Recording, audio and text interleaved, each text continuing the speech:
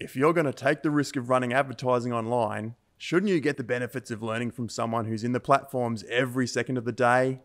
Welcome to bidpixel.com's Marketing Ear Biscuits, the original podcast dedicated to digital advertising run by two Aussie guys who ride around in kangaroo pouches and drink Fosters and 4X beer. Jay Jonas, welcome back. Uh, Dave Grandfield. How are you, buddy? Good, mate. How are you? Fantastic, fantastic. Hey, another uh, day in paradise. Mate, it's beautiful out here. Hey, uh, Queensland's got a public holiday this weekend too, by the way. So I'm not coming to work on Monday. Me either. What? New South Wales has it as well. Mind blown. So today, buddy, we're going to talk about scaling. Q4 is coming up. It's time to start making a little bit more money for a couple of stores and customers of ours. Uh, it's a fantastic time of year to scale if everything goes right. Let's have a chat Definitely. about let's have a chat about actually making sure that everything's right before you start scaling your your, uh, your ad spend and your results on Facebook. So I just want to preface this whole blog vlog about the fact that we are not talking guru stuff here. We're talking just real world stuff that works for e-commerce store owners. You know, the zero to five million dollar a year e-commerce stores and marketing managers who are managing budgets for uh, brand awareness and sales for businesses. Like we're not trying to sell some shiny tactic. This is just you know how to scale honestly and ethically and how to make people money. Right. Yeah. So there's kind of like three types of scaling that we always refer to. There's like scaling up where we increase the budget. There's scaling out where we'd expand the audience, and then there's kind of scaling across. So finding new niches or products. Um, you might have a uh, you know you might sell swimwear and you scale out and start selling beach towels or umbrellas or you might have you know a unicorn product or you might have you know you start selling bundles of products instead instead. So what i really wanted to ask you some questions about today was more about scaling up. So how do we increase budgets and do we have to scale out and expand audiences at the same time? So big questions. Mate how do we scale customers effectively um, gee, that's a that's a big question. Let, us it is a big let, question. Yeah, let me, let let's me break ref- it down. Let me break that down. How? What are the fundamentals that we need to make sure of before we even start to scale a customer's ad spend and results? Yeah, sure. So that's probably yeah the best place to start. So um, number one is for our customers to know what their CPA is or cost per acquisition. You know, how much does it cost them to to you know how much are they willing to spend to get a purchase and what's the average cost per acquisition um, so understanding what are all of their outgoings in total at end of the month how much have they spent how much have they made and the difference in between is um, where we can break that down divided by number of purchases I think that's a big one there, right? If we don't know that, and if we haven't calculated that with a customer, if they're not physically profitable, there's no point scaling, right? Or if they're not That's making, right. so, if they're not making yeah. enough money, why scale? Exactly. So to break that down even further is, and really simplify it, is if your product costs $50 and it's costing you $55 to get a purchase, you're going backwards $5 every purchase. Uh, so, you know, you yeah. might you might chalk it up to a marketing expense, but why would you want to scale that uh, realistically? To you're not making more money scaling that. You're just make uh, you might be scaling brand awareness, but that's not what we're talking about today. Exactly. So so once we meet these, once we know that we've got a cost per acquisition covered, we know that there's some good return on ad spend happening. We know and we know what that break even return on ad spend is. How do we start scaling? Uh, and let's refer to campaign budget optimization because that's where Facebook's moving and that's what we practice and use. Um, how do we start scaling customers once we know they are ready to scale? Yeah, so there's a couple of things like as you know, as you mentioned before, is we we can scale up the budget. So um, it can be as simple as taking you know someone who you know, for instance, might be spending two thousand dollars a month on ads, and just increasing the budget of how much with the initial the um, the current campaigns that are running. So there's five, ten campaigns, and we just increase the budget on each of those, and we go from two thousand to ten thousand to twenty thousand dollars a month of ad spend. Yeah, so sure. that's one way, um, and you're kind of getting you're able to engage with a larger portion of the available audience that those campaigns or ad sets are targeting. So that's the first way. The second one, I guess, is what we kind of refer to as scaling out, where we're expanding the audience. So we're kind of going, you know, looking at different audience segments, whether it's interest based or um, lookalike audiences or anything in between, really, um, anything that we've got available to our disposal, and we scale out sideways so let me give a little bit of a context there. So when we're creating ads for someone, say we've got a fairly small budget and we're testing and we know they're profitable, generally the BidPixel team will have uh, some stacked interests or some stacked lookalike audiences, right? So yeah. we might have a campaign and then there might be five different interests within that one ad set in a campaign. So once you're saying once you start scaling out, what do you do with those five different interest groups? Oh, gee. Like uh, uh, um, we're putting them into their own campaign or their own budgets now, yeah. right? or we're giving them their own ad set. So you, you know, one ad set that might have had five interest-based targeting might then go into five ad sets that then CBO lets the best one start performing better, right? Yeah, exactly. Yeah, we kind of we we work out the plan that um, or the best possible plan to let the algorithm decide what it needs to decide and work and run with the best set of um, there's data tools available. So, so, people like there's all this talk in the industry when you you kind of know what you're doing, and the old background saying is there's a heap of stuff like surfing your budget and day day parting and all this sort of stuff. Like we're talking CBO right now. Uh, the algorithm for a long time has been doing what people day parting were trying to do in tricking the algorithm to only spend at the time of day when they needed to, right? But we kind of defunk that these days with the results that we see happen, right? And if you, you, know, you were saying to me before, if we started day parting on a CBO campaign, you're kind of throttling the algorithm from getting a really good return on ad spend when the CPMS might be lower at a, at a time of day that you didn't think people were purchasing. Yeah, absolutely. So um, there's yeah, there's definitely a bit. You know, there has been you know traditionally a bit of talk around day parting, which is literally turning ads off at certain times of the day. So to save spend and put the spend to other portions of the day that might be getting, you know, more sales or you know, or perceived more sales. But what we do see is that um, the algorithm will often throttle that budget in those times of day. Um, and for instance, it might be two o'clock in the afternoon where it's traditionally not much, not many sales happening, but it's also traditionally can be a really a, cheaper time of day to run ads. So it works great for brand awareness or or when a purchase does come through that time of day, the CPMs over those couple of hours might be extremely low. So if you're so, day parting, you're missing opportunities potentially. So I'm not going to mention who it is. I'll say first name Mel. When I went through your account yesterday and looked at what that other agency was doing, that's essentially what they have been doing. They're day parting and not allowing the algorithm to work how it should. And that's where I showed you the, the, the history of changes. That's why things were happening. Like each minute there was like budget changes and on and off, and there was uh, too much of that going on, right? And they weren't actually letting the algorithm do its thing. And that's one of the big diff- well, probably one of the big reasons why your ads weren't working currently. So yeah. and just... CBO plays into that. CBO allows the idea of CBO is really, I guess, in the success that we're finding, and it's it's not a hard and fast rule, but from our testing, what we found is that letting it run and letting it optimize um, across the board. So not only in terms of just letting ads, but also the time of day they're running, um, what ads are running, the audiences that they're running to, um, with a healthy time frame is what we're seeing across the board is it's just you know really setting up for wins um, and that micromanagement of say ad set level um, campaigns is it, it's a bit dated now from what we're seeing bold statement so playing with your budgets at an ad set level is not necessarily the best way to scale your ad accounts these days in facebook um, no, and, and yeah. everything with yeah, everything's with a grain of salt. So sometimes when we you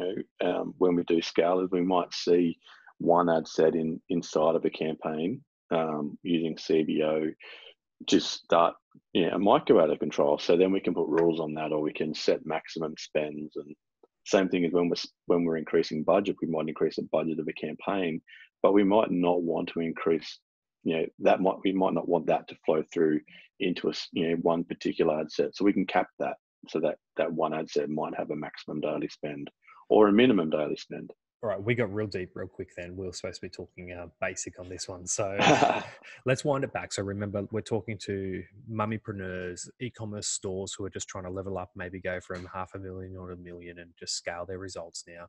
Um, Yep.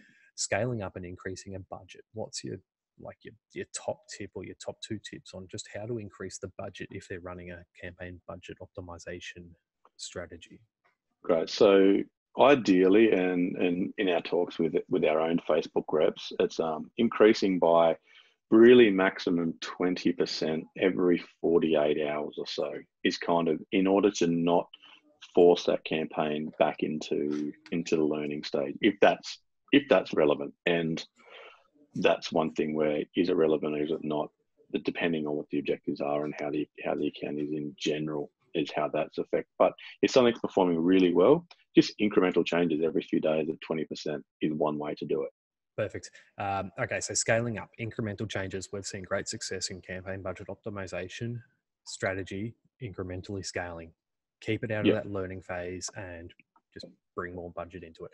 All right, let's talk about scaling out and expanding the audience. So you mentioned to me uh, before we went live, it was two things, right? So using we've touched on pushing interest groups or LLAs a little bit more. I'd love you to touch on the LLA side of things, lookalike audiences, but also let's chat about scaling budget and putting more money into the top of funnel as well, and how that kind of plays out, and why it can be risky, but why it needs to be done.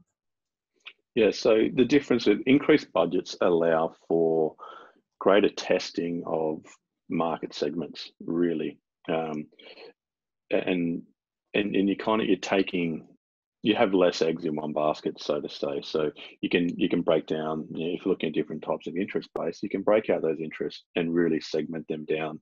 Um, same with lookalike audiences, rather than stacking them all into one or two ad sets, you can create a, a campaign specifically for lookalike audiences you know, that are similar um, and allow them to kind of you know bounce off each other and learn from each other um, and let the algorithm optimize that way um, and and then using you know smart exclusion so excluding certain audiences from others so so you're losing over you know you reduce overlap um, on targeting and, and ads and and therefore um, you know, the possibility of being removed from auctions Yeah, sure. You're not getting audience overlap in your auctions, and you're yeah you're serving the ads out to each audience. Okay, so let's talk Yeah. about. So one thing I've noticed, and you know we've tested it out over the years, and we see people making the mistake of it still is they maybe get a winning ad set or they get a winning campaign, uh, and they just scale that hard, right? You might go from two hundred dollars a day to twenty thousand dollars a day on this one particular campaign or audience or ad set that's working and then one day it just tanks and i kind of like the strategy that you were just talking about it kind of circumnavigates that because what can happen is your audiences get fatigued or you literally run out of audience and you've put all of your eggs in this one basket or into this one audience and say that audience pool wasn't big enough suddenly it's going to fatigue really hard and fast when you've got no more people to serve an ad to that are going to purchase or generate a lead. So how do you get around that with top of funnel strategy So one interesting thing, I guess, that we see when we do a lot of audits on accounts is some sometimes that lack of exclusion. So when you're going out to a top of funnel or what we would call top of funnel, so a cold audience, um, and not exclude, no, some you know some accounts not excluding people that are currently followers of the page or friends of the of the business or purchasers of the business. And so when you're going, say, an interest, a cold interest based group, um, an ad set, by not excluding those people, you're also targeting them. So it can also work as a remarketing campaign without even realizing or without it being intentional. So you might hit that, you know, uh, initially you might get great success and you get that low hanging fruit, but um, it's often not, you know, there's no longevity to it because you exhaust that audience really quickly. Um, so the use of exclusions is is really handy, um, and that's probably one big error that we see. Yeah, perfect. Yeah. So then next question, as you start to scale, let's say customer has seven times return on ad spend, they're spending $10,000 a month on their ads.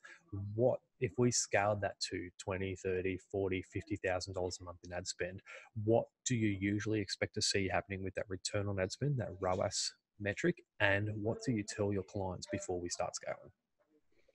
Okay, so yeah, that's a really good one. So, you know, if you know, let's just talk around numbers. Say a client's on five, you know, on average, we understand what their break-even ROAS is and what they're currently achieving on their account. So, if their break-even return on ad spend is say two point eight, um, and the account's getting a five, you know, or around five fairly consistently, generally as we scale is um, we, we need to keep in mind what that break even is. You know, how much are they spending on ads and how much, you know, if they're paying an agency, are they paying for that agency? Um, and and they're, they're, those numbers are set. They're they're fixed numbers. Yep. As you scale budget, is what happens is generally, well, not generally, that that the actual needed return on ad spend isn't as great. So where they might have needed the 2.6 as a minimum, that might actually come down to a 1.6 because they're covering all of those expenses with an increased ad spend really quickly. So rather than spending $2,000 a month on ad spend and they might need a 2.6, if they spent 20,000, they might need a 1.2.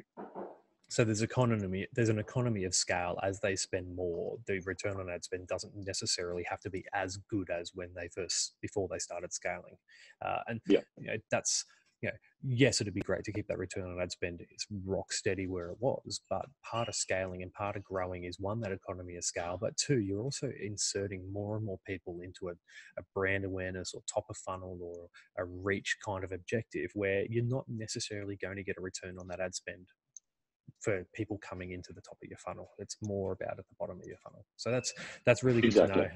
That's great to know, and that's something that we make sure all of our customers are aware of before we start spending more money for them. Uh, exactly.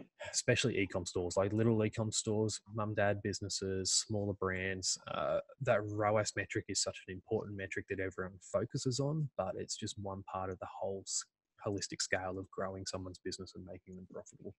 Yeah, I heard a really good statement a while ago about um, I think it was the head of Macquarie Bank, possibly talking about digital advertising. Um, and he just mentioned the difference of thought between looking at your marketing budget from a balance sheet perspective versus a profit and loss perspective. Yep. And one of them is is long term. The balance sheet is long term. It's like this is a portion of budget that we've designated for marketing. As a profit and loss is what is my month on month, what's my return, what's my return, and it really depends on you know on where a business is in its life cycle and what its objectives are on that view. So um, I think a bit of both is really healthy. Yeah, cool, mate. Awesome chat. So, final tips on scaling a business into Q4. Uh, well, let's break this down. If you're an e commerce business, you're wanting to scale your results in Q4, disregarding bidding and cost going up let's just let's actually rephrase that if you're an e-com business and you're wanting to scale regardless of time of year scale, stay within 20%, use a CBO audience or CBO campaign structure so that you know that the algorithm's working the best it can, and make sure that you've got a big enough audience and you're introducing new audiences so that you don't fatigue what you've got and the results suddenly stop. Can you rephrase that any better? Um, not really, and make sure that you can handle it as well. That I guess your business can handle that growth that's probably something. But that's a whole nother conversation. that's probably something we didn't touch on, right? Like, how much stock do you have? Do you have to go back into pre-order status to sell stuff? Do you have the working capital to be able to actually float the business when you you get busier, right? Uh, are you yep. ordering from China quarterly? Are you ordering from your suppliers and manufacturing? And is there a six-week on the water turnaround? Like, that's all things that you need to consider before you start scaling, and that's things that a good agency will actually go through with you before they just pull the trigger if, and put the hammer down on the ad spend. Mate, yeah. fantastic chat. Thanks for bringing some enlightening conversation to that kind of segment of the industry. And you know, it's you get so many people just talking about surfing budgets and day parting and you know duplicating out campaigns and ad sets and like at the end of the day be smart and wise with what you do and is it wrong to say don't listen to that stuff do what works for your for your campaigns or do what works and um, how do you how do you kind of speak to the people that just are holding on to the past and the stuff that used to work? I think number one is every business is different. Every business's needs are different. Every business's you know what they require from their advertising. It is sales, but the level or the um, the details of that is different for every business, and understanding that is one thing. Um, and it works differently for every business. So I've spoke, you know, we've got several Facebook reps, and um, one that I spoke to is they they do say what works for one might not work for another in terms of scaling, but it's understanding the data. The great thing about digital advertising, you know, digital marketing is the data's there. If you can understand the data, that can inform your decisions. And the data that applies to one account might not apply to yours because it's not yours. Understand your data, and that can help inform your decisions to scale. There's the soundbite to introduce this episode. Understand your data and it'll make informed decisions. Don't listen to other people. but Make sure you understand your own data, mate. That's awesome.